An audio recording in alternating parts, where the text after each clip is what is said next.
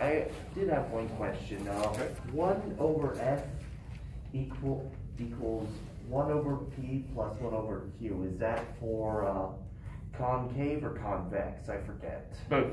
It, the difference is where you put the plus and minus signs. So if it is convex, the focal length is positive. If it's concave, the focal length is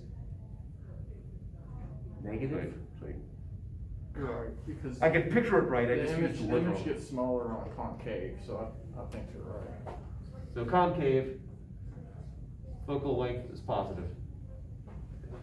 Convex with the image over here, focal length is negative. Okay, thank you, I just, uh, for- I forgot, so. And P, potentially P could be negative, but for everything we've done so far, P is a positive number for now. And we'll, when we get into lenses, we'll talk about when P is a negative number. And then Q, positive, means real image. In other words, light rays actually meet. It's now on the other side of the mirror. Right. And then less than zero is a virtual image. The light rays just appear to meet to our human perception. Yeah, I just, uh, I forgot it's all, since you said we, you mentioned talking about lenses, are we doing the lens maker equation today after, uh, doing that? After continuing the lab with the mirror or, Yeah, so you got the, the, the big one right there and then the other, uh, we'll call it the optical bench lab. optical bench lab? Yeah, that, on the top of the shelves over there, what you used when we were doing the intense, um, Like, um, the luminance.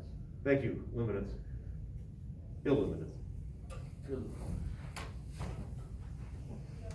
It's, I guess yeah. technically luminance is what I- reflects I- off of something. My eye, my eye was a little soft on that. pronunciation. Yeah, that's pretty good. Okay. That is kinda confusing. Who, I mean, who, I mean, it's like, I mean, uh, who were the, who, what were the guys who came up with these terms thinking when they said they, what were they thinking? Probably thinking about Greek and Latin, because they were probably all fluent in it. Probably. Yeah, that sounds about right, not, I have a white hair on my knuckle, Ooh, getting old. like a long one. that's interesting. I Alright. also dropped a vanity on my knuckle last night, that's fun. Ooh, Yeah, big old seventy-two inch that I was ripping off my vanity. I, got- I found a new one for hundred and fifty dollars okay. at a discount, uh, building supply. Same one too, I'm so happy. Well, I'm glad you seem to be okay. Yeah, yeah, yeah. Uh, Nothing's broken, I mean, it's all moving. from the way I roll, I, I would say don't drop things on your hands, but you know, you be you. Actually, got, because I forgot to do one piece of piping, it caught between the piping that was already on it and then the piping that Oh. goes to the. Ouch. Uh, there we go, one more.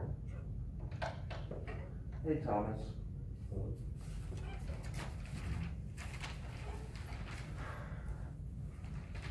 So, All right, any questions, since you got the chapter thirty-four quiz today, any questions on the chapter thirty-four questions?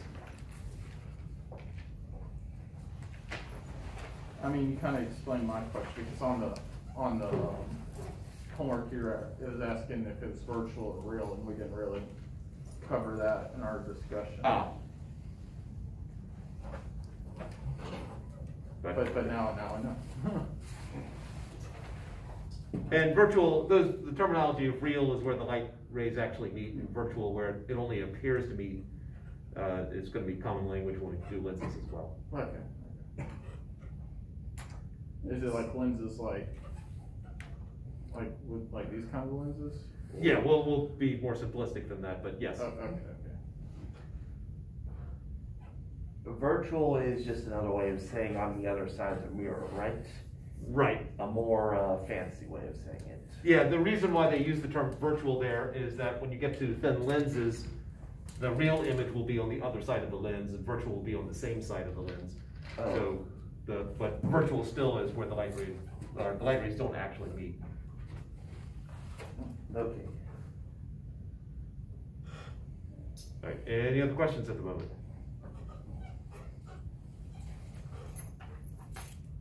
I think I'm ready for this. All right, I'm gonna go grab them. Hopefully, uh, it doesn't kick my butt.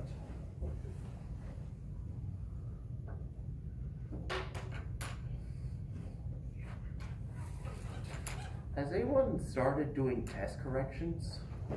When are they due? Uh, they're due at the end of the month. End of the month, okay. That was just, I was just wondering if anyone ever started, like, being proactive or whatnot. I haven't started.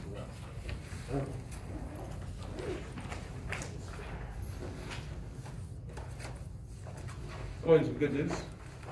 I got the first shot of the vaccine. That's good. How are? Uh, arm was it just a tad bit sore for a little bit, and other than that,